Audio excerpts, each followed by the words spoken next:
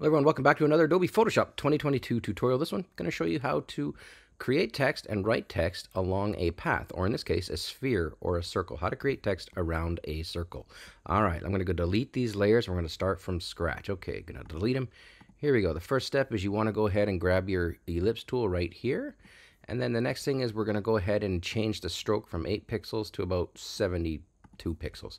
Doesn't matter. We're going to create a nice, decent size sphere. I'm going to hold down the shift key to constraining proportions and presto, there is our sphere. Now I'm going to go back to the move tool and I'm going to move it right. Ooh, never mind. That's not the one. I'm going to move it to the center. Okay, we're going to center it. There we go. Something like that. Okay, good. Okay, cool. Good enough for now. All right, the next step, grab your type tool or your horizontal type tool.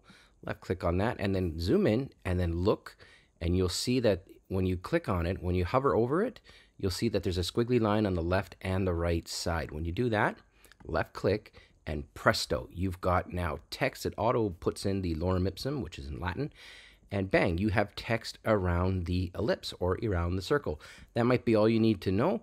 If you want to change that, you can go ahead and click on it and again hit Command or Control T and then you can just go ahead and increase the size. So if you want to bring it out a little bit, something like that, let's say, Go ahead and do that. Go back to the move tool. Now you want to center it again. So make sure it's all centered up.